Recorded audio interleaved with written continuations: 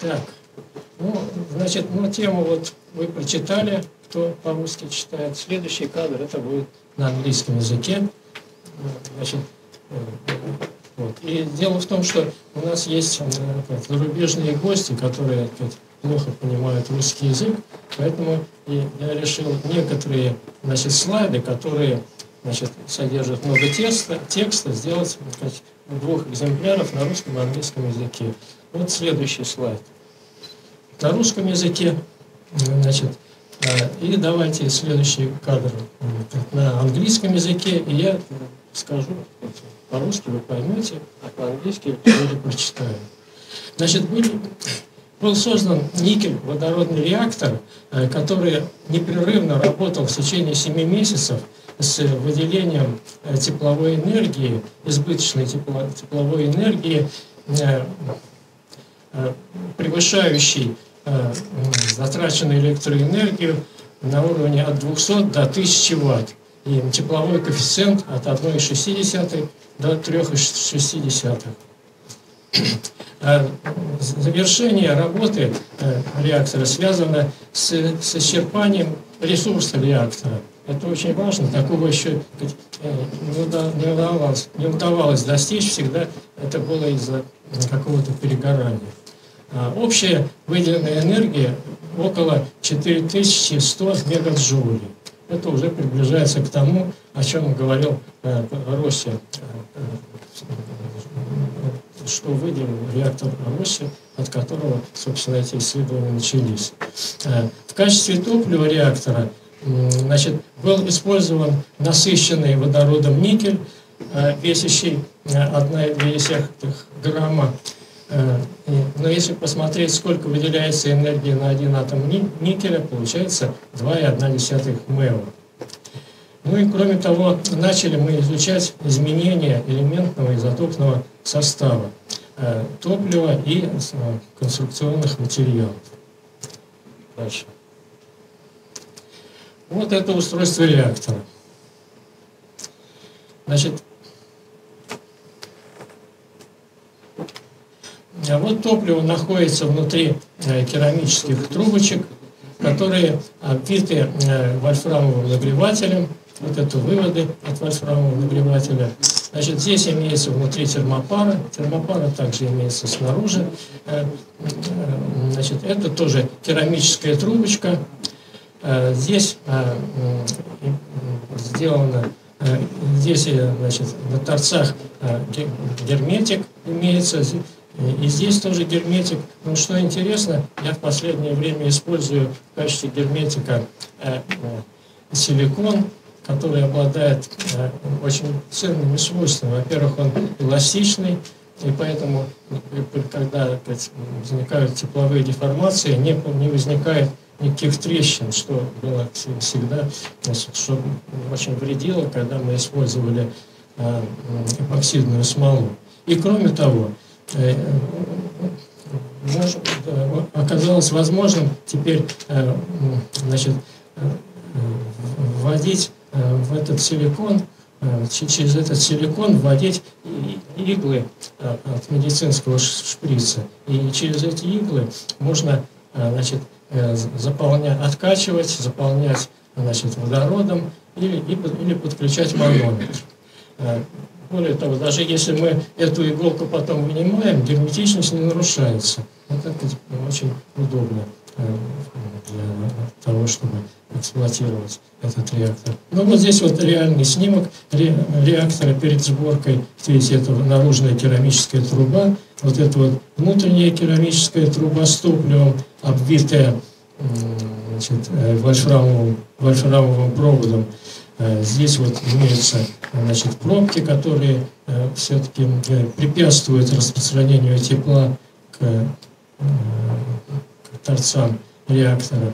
Вот. Ну, такое вот, в общем, на первый взгляд, довольно простое устройство.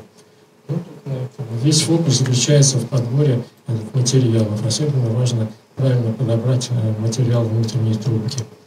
Дальше. Ну вот если есть переводчик, хорошо бы, значит, чтобы он значит, переводился этот текст.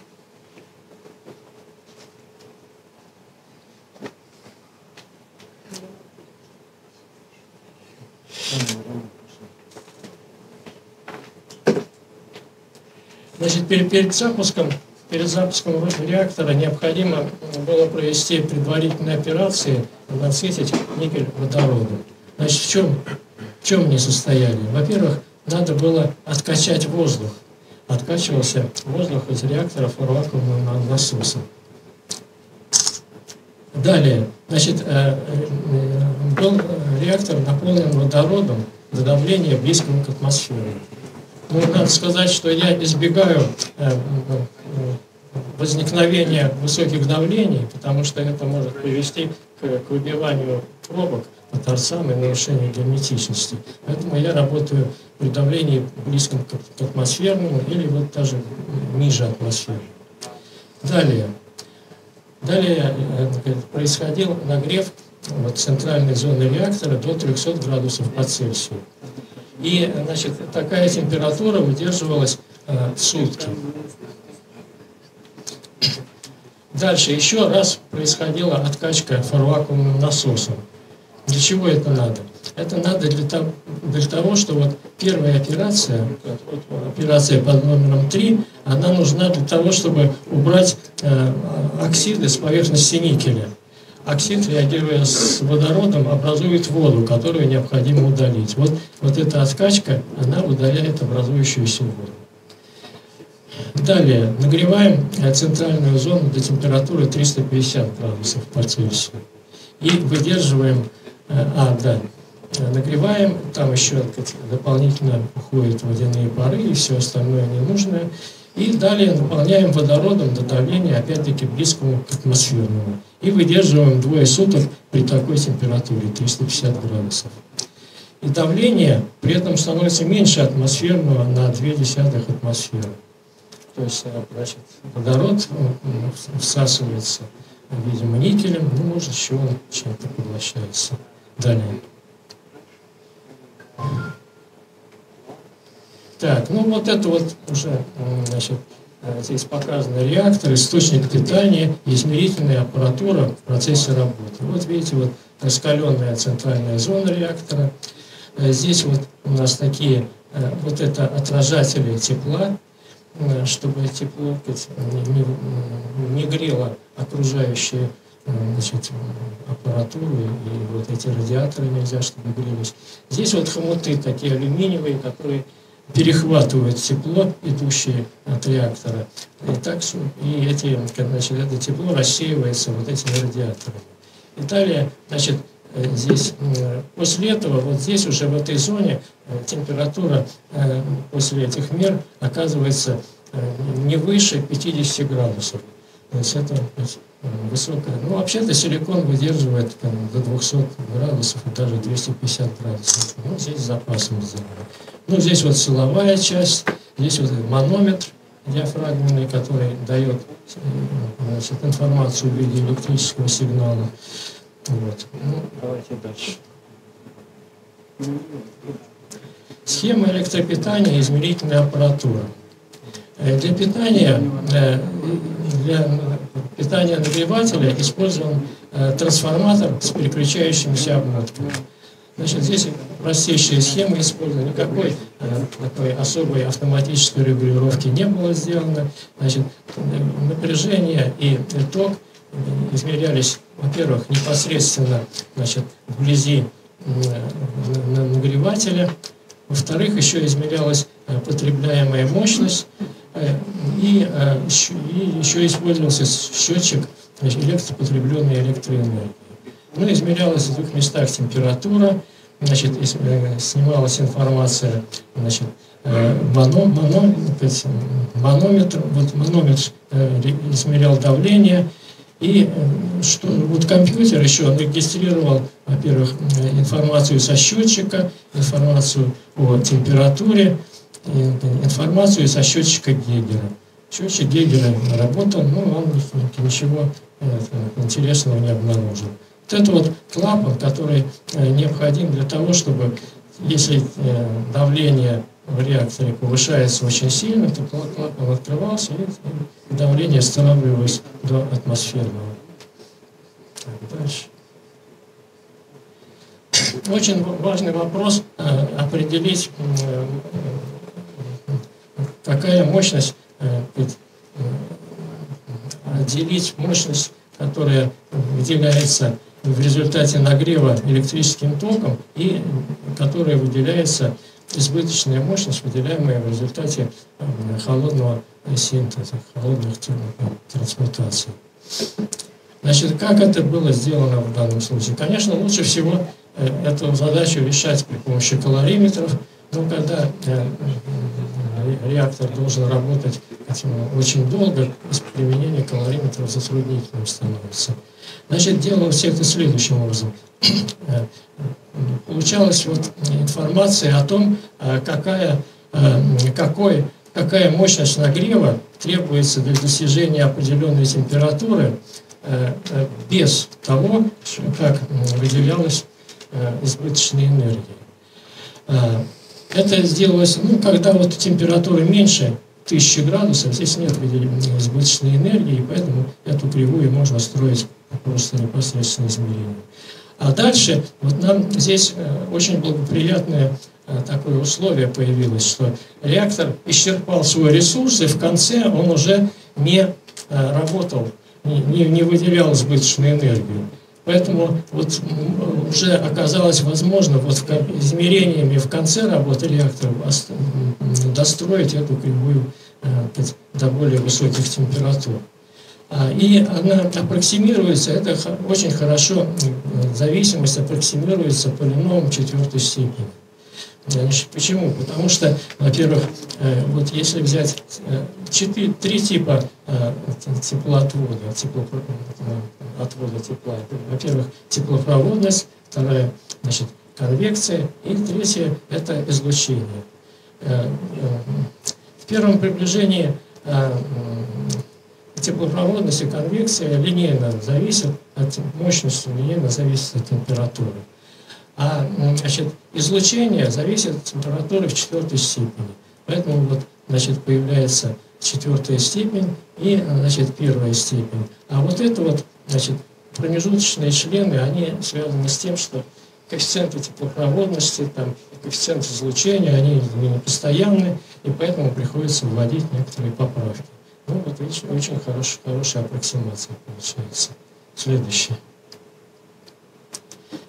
Вот это вот что, что, что получается в реальности, когда работал реактор. Вот это вот та самая кривая, которую мы видели. А вот эти точки – это замеры, которые были в процессе работы реактора. А избыточная мощность – это разница. Вот мы измеряем мощность значит, э, при определенной температуре и сравниваем с тем, что было бы, если бы не было избыточного тепловыделения. И вот это вот, значит, вот эта вот разница, она и есть избыточная мощность.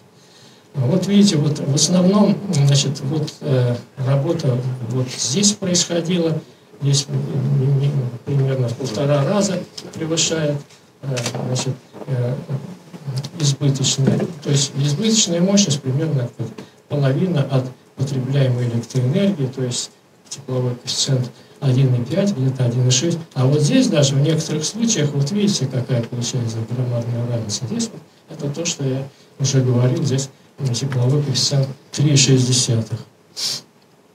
Дальше. Ну вот реально, как работал реактор. Но ну, пер, первый, первый день работы. Э, постепенно повышается вот здесь мощность. Видно, дальше что написано? Синий – это мощность, зеленая – температура провода нагревателя, а дальше температура внутри. Температура провода нагревателя. Э, вольфрамовый нагреватель, он очень хорош тем, что вольфрам э, э, сильно меняет свою электропроводность в зависимости от температуры. И причем эта зависимость хорошо известна, поэтому, зная сопротивление значит, нагревателя, легко определить Э, какая у него температура. Значит, мощность, измеряя э, ток и напряжение на нагревателе, мы, если умножаем ток на напряжение, получаем мощность, а если делим напряжение на ток, получаем сопротивление. Все очень просто. Но, к сожалению, вот этот, это только можно использовать в начале, потому что в дальнейшем э, свойства вольфрама, вольфрама меняются. Ну, ну, короче, вот смотрите. Это, э, вот мы сначала нагреваем Э, повышаем мощность электронагрева. Вот видите, здесь э, значит, температура внутри реактора и температура провода нагревателя совершенно одинаковые идут. Ну, немножко нагреватель больше. Вот, а, а, когда мы достигли какого-то порога, вот здесь он, да, 1000 градусов с чем-то, у нас температура внутри реактора становится больше температуры нагревателя. Вот, а дальше она вообще еще, еще больше становится. Это говорит о том, что появился э, дополнительный источник тепла внутри реактора. Вот, ну, значит, вот в первый день достигнуто вот, э, тепловой коэффициент 1,2. Следующее. Вот здесь ну, на протяжении второго дня работы постепенно тепловой коэффициент увеличился, и вот он стал достиг двойки, Потом, значит, я стал еще, еще повышать мощность электронагрева, и тут произошло такое интересное, непонятное вполне явление. Значит, помимо сначала мощность электронагрева э, приводила к повышению температуры внутри и, соответственно, повышению теплового коэффициента. Потом при какой-то при какой-то мощности Э, температура внутри довольно сильно упала, соответственно, и, тепловой коэффициент упал. Ну, а потом она опять, значит, через какое-то время э, выросла температура нагревателя и тепловой коэффициент. Вот здесь вот достиг рекордных значений 3,6. Ну, вот, вот этот провал, трудно сказать, с чем он связан.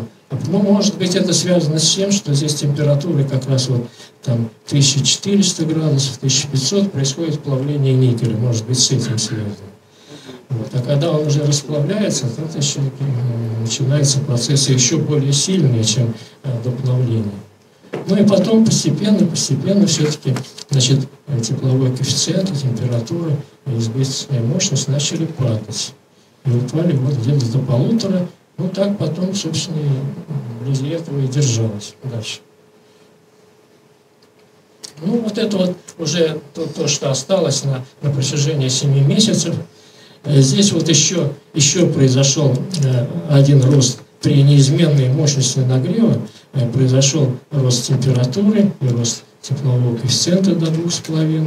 Ну, потом, значит, температура потихонечку стала расти, расти, вот видите, это на протяжении нескольких месяцев и, соответственно, тепловой коэффициент стал расти, потом стал снижаться, потом стал снижаться.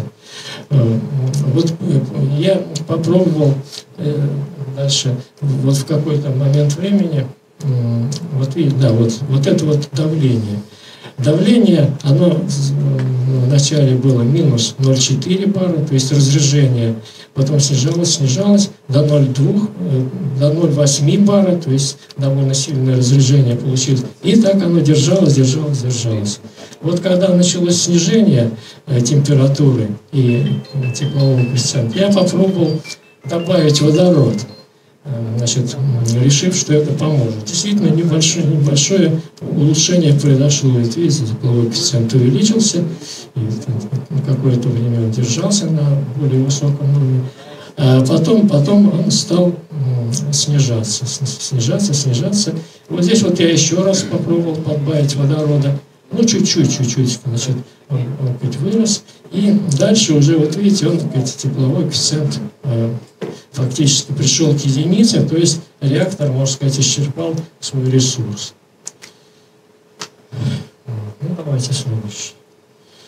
Ну, очень, очень, э, очень важно знать вообще, что в действительности происходит э, внутри реактора. Поэтому э, очень важно сделать анализ элементных изотопных изменений в топливе и конструкционных материалах.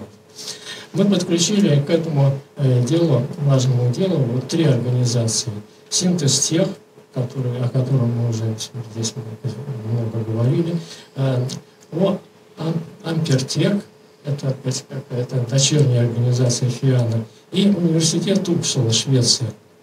Ну, э, эти анализы, они как как всегда, делаются очень медленно, и поэтому только частично эти анализы были сделаны. Э, из университета Урсула вообще пока не было никаких сведений, хотя они сказали, что начали анализы. Какие методы использовались? Метод э, рентгенофлуоресцентной спектроскопии позволяет определять элементный состав. Метод ICP-МС, масс-спектрометрия с индуктивно связанной плазмой, позволяет определять изотопный состав. Давайте дальше. Вот. Ну вот, э, вместо того, чтобы, значит, здесь печатать, здесь э, показывать э, громадные, громадные таблицы с процентами, где чего изменилось, я сделал вот такую картину. Вот это вот реактор, после того, как прекратил свою работу, он был разобран, керамика здесь стала очень хрупкой, ее просто можно было отломить. Значит, это вот э, внутренний, э, внутренняя трубка, это вот, значит, теплоизоляция, это вот центрирующая э, шайба. Это вот порошок, который накопился в пространстве между внутренней трубкой и, и, и внешней. Вот. И э, были сделаны анализы, пока, значит, в основном это анализом рентгена, флуоресцентным анализом. Значит, здесь показано, где, в какой, в какой части реактора, что, что значит, у нас накопилось. Здесь не, показано, не показаны элементы, которых изначально много, такие как алюминий, кислород, кремний, а показаны элементы, которых изначально практически не было, и потом стало значительно больше. Вот видите, значит, здесь появились такие элементы, как галлий, очень редкий элемент, который непонятно откуда мог взяться. Ванадий хрома тоже здесь тут не было. Но вот в вольфрамовой проволоке значит, обнаружено накопление только гафния. И тоже немного, сравнительно немного элементов накопилось вот в, в, в этом в самом, то, то, что было топливом когда-то, а теперь стало такой массой спеченной. Вот. Э, здесь титан, железо, кобальт, ну и кальций. Значит, как это можно понимать? Вот если, э, если мы значит, анализируем горячую зону, то надо учитывать, что э, если образуются э, элементы, которые обладают высокой летучестью, то они, образовавшись, тут же испаряются и оседают на холодных частях реактора. Поэтому вот можно ожидать, что никель порождает много цинка, но цинк имеет температуру 900 градусов кипения, конечно, он же сразу испаряется выходит вот в другие части. Вот, например, вот здесь вот цинк обнаружился только вот, значит, в порошке, который э, между трубками образовался. Ну и надо отметить, что особенно много образовалось кальция. Просто удивительно, сколько образуется кальция. Вот здесь вот видите, я поставил кальций с двумя восклицательными знаками. Здесь образовалось кальция 23%, хотя исходно его было всего там меньше 1% в этой керамической трубке. Вот много кальция тоже образовалось вот в порошке, который э, образовался между внешней и внутренней трубками. Здесь вообще кальция 27% обнаружено. Вот.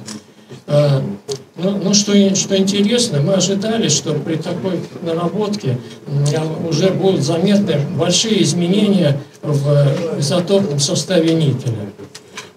Вот анализ был в, в, стих организации сделан, а, и оказалось, что существенных изменений в изотопном составе никеля не обнаружено. Ну, дальше.